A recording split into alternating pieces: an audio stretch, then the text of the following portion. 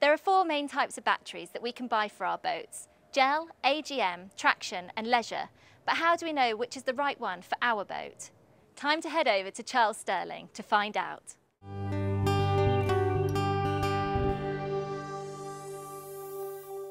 So what is the best battery for your domestic or leisure battery bank on your narrowboat? Well, first of all, let's understand the fundamentals. A battery is basically a bucket of energy, and all these batteries are simply buckets of energy.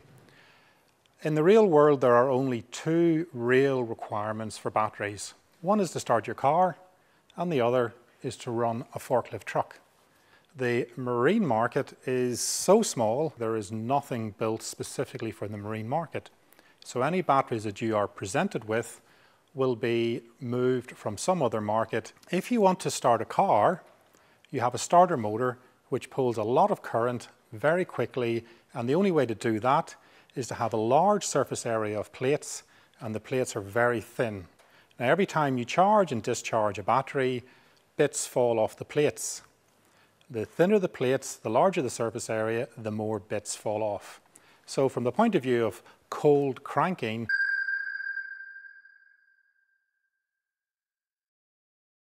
those batteries are great. From the point of view of deep cycling,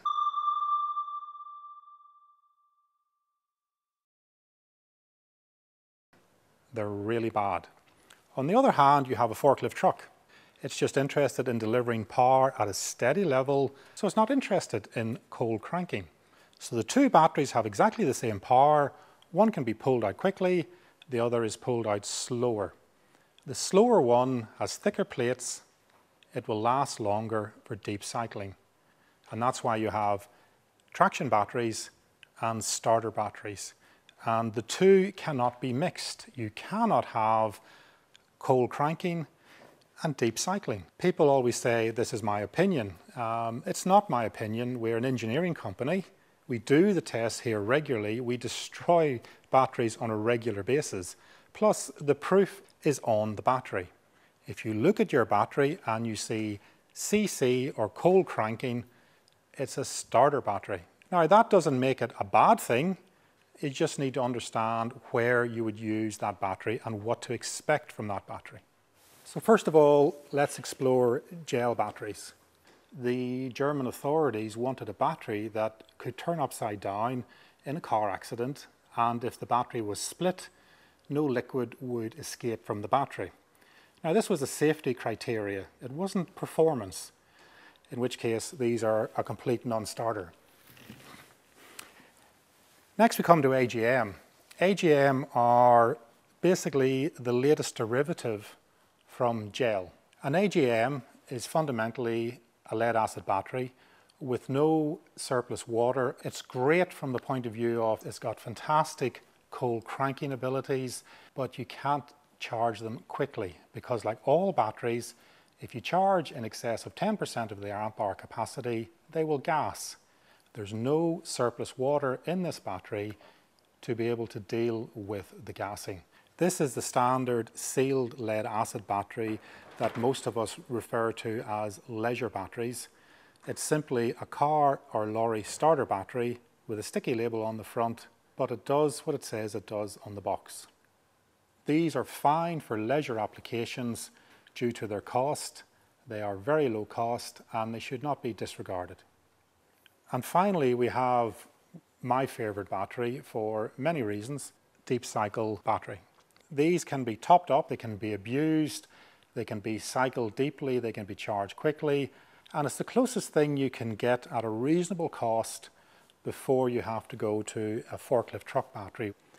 Okay, so we're down to two batteries now. So the question is, which is the best battery?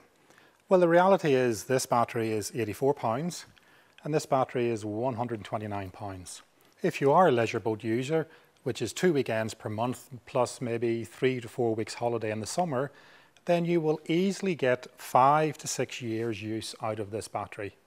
However, if you're going to live on board and use your batteries every day, or if you're going on long-term cruising, I would suspect that battery would last you in the region of six months.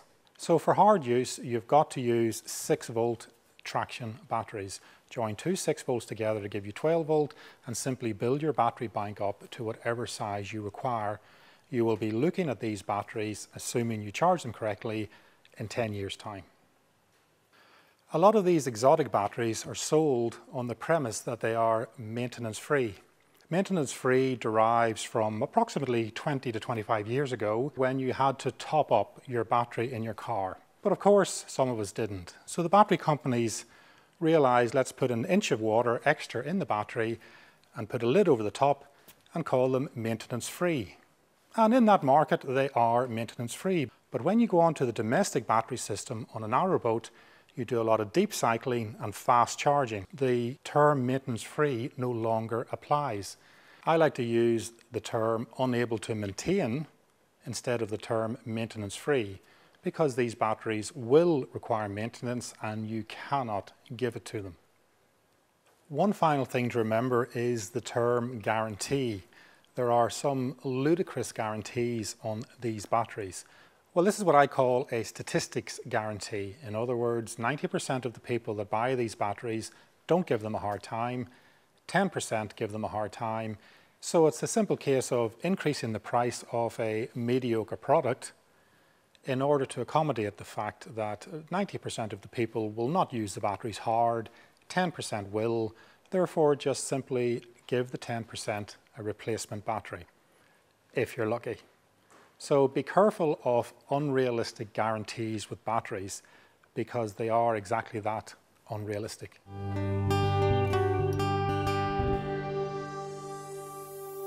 Now Bow Lock in East London probably isn't where you'd expect me to go to check out the capital's latest cinema. But this is UK Boating and this isn't just any ordinary cinema. I'm here to meet the team responsible for turning this narrowboat into the floating cinema. So the project started um, uh, about six months ago. Um, it's an art project that's been commissioned by the ODA, the Olympic Delivery Authority, but it's funded by Arts Council England. Um, it's a great project where we've converted um, a narrowboat into a floating cinema, literally. Um, but we don't just do film events, we also do um, tours, talks, performances, and also bigger screenings for canalside audiences. Well, the history of the boat was uh, it came from Stockton in Warwickshire and basically it was it was just a shell. It had the uh, stern cabin and the fore cabin, and that was it. The forward cabin was uh, just a no-go area. We just couldn't get in there, and it was quite dilapidated actually. When it first arrived, it was very cold winter, was the first time so. Everyone was wearing very thick um, clothing.